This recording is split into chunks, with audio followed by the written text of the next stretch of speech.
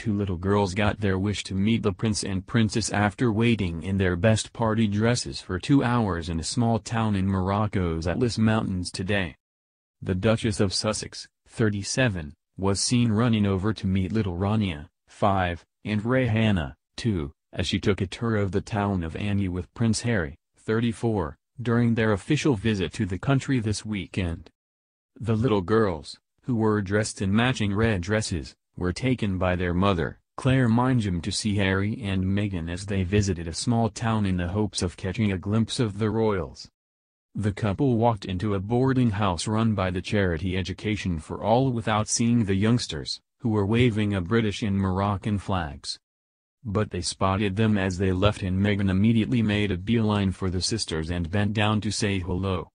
Meghan was seen running over to the little girls, before kneeling down and saying, Hi girls, so cute. How are you? What are your names? Their mother then explained that they were half Moroccan and half British, as Meghan exclaimed, Ronnie nice to meet you. So sweet. The Duchess also showed them a henna drawing on her hand and said, Nice, isn't it? So pretty. As the girls nodded, Harry was seen laughing before saying, the nod of approval.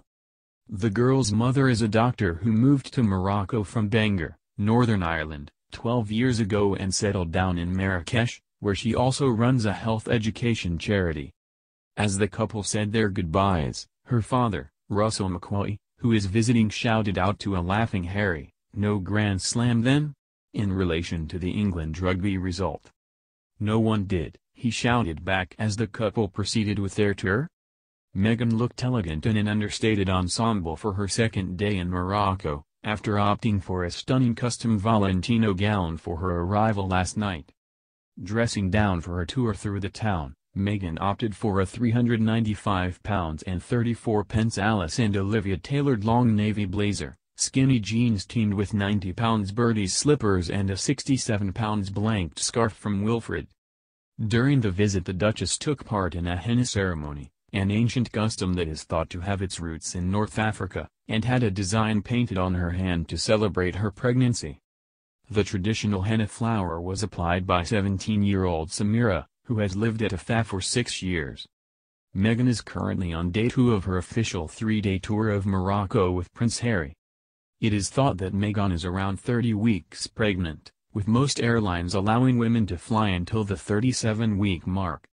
The couple arrived to Casablanca airport yesterday, where they were welcomed by the British ambassador to Morocco and his wife before they inspected a guard of honor.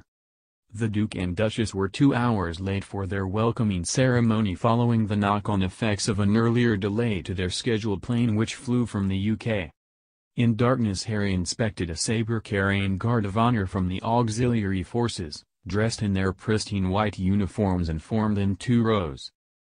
The heavily pregnant Duchess walked behind her husband as he looked over the troops who had been patiently waiting for over an hour. But despite spending a busy few days in New York for her luxury baby shower, which featured a string of A-list celebrities, Meghan looked relaxed and wore a striking red Valentino dress. They are spending day two of their tour visiting various schools in the small town of Asni, before attending a reception hosted by British Ambassador, Thomas Reilly. Monday, the third and final day of their tour, will be spent meeting children with special needs, before visiting a cooking demonstration, a traditional Moroccan arts and crafts display and attending a horse grooming session at an equestrian facility. A Kensington Palace spokeswoman said, Their Royal Highnesses are very much looking forward to the visits and are grateful to their hosts and the British Embassy for arranging such an interesting program. They are particularly pleased that they will have the opportunity to meet so many young Moroccans over the next few days.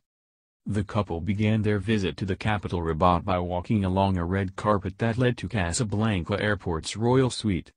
As they entered the building they were offered milk and dates a traditional welcome in Morocco. Pregnant Meghan appeared to pass but Harry could be seen nibbling on a date. A large motorcade of black limousines was waiting to take Meghan and Harry and their entourage of nine, which includes a hairdresser, to meet Morocco's Crown Prince Moulay Hassan. They are staying as guests of Morocco's King Mohammed VI at a royal residence.